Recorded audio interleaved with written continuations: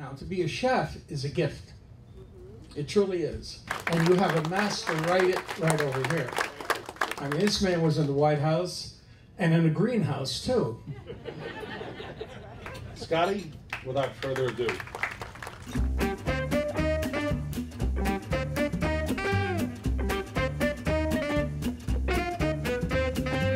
Was a great evening. Entertainment was fantastic, and the food was top notch. Really enjoyed ourselves, and can't wait to come back. Is it gravy or is it sauce? We could have a big fight about that. You didn't feel like you were at a restaurant. You felt like uh, felt like you were in, in with with the family, right? It was it was just an awesome time.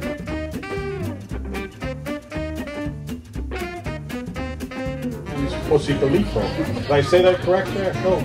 Posipalipo? That's all right. That's good. Say yeah. Yeah, that's beautiful. Fabulous from start to finish. It was a Mother's Day present for mom. Tonight was a great night. There was amazing food and amazing entertainment by John Grifo.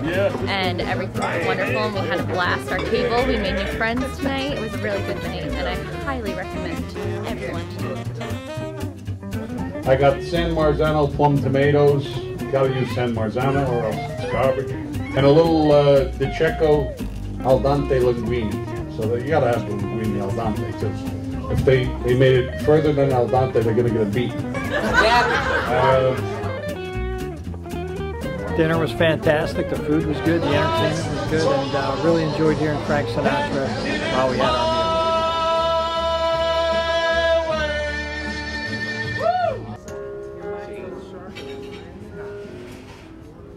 It's quarter to three. There's no one in the place except you and me. That's how it goes.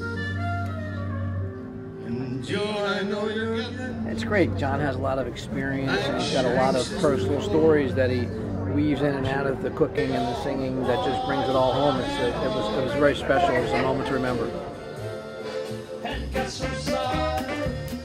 Very much. I'm speechless, too, because it's not gravy, it's sauce.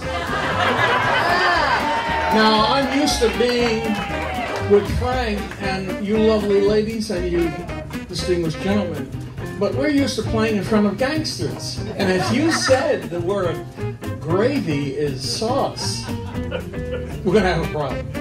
So when I used to work in, uh, when I was 17, I got a job in Little Italy, and it was Florio's, which was around uh, right across the street from Ferrara's, and um, everything was done to order. I mean, clams were open to order. We had a Lego veal hanging in a walk-in box. So you, you ordered veal. This the chef would say you go in, you cut the veal, you pound it, and that's the way it's done. So it was just that's there was no prepping.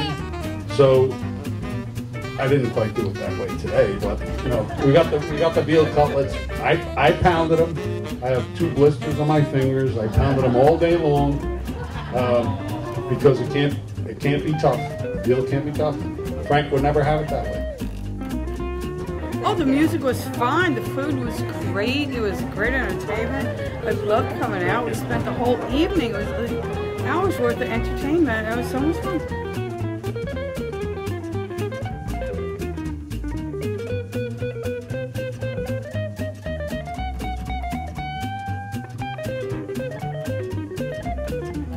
Okay, so what we did tonight, we had a uh, Johnny and Sinatra night where I sang uh, six of Frank Sinatra's favorite songs, with favorite his favorite meals from Patsy's Restaurant in New York City, and I got them from the chef. I got the recipes from the chef, and uh, also here at Cuisine on the Green, we're a culinary school, and we have future culinary demonstrations with Viking Village, and also we have Floridian cuisine, and also we have a Tuscany Grill coming up. So they'll be coming up soon.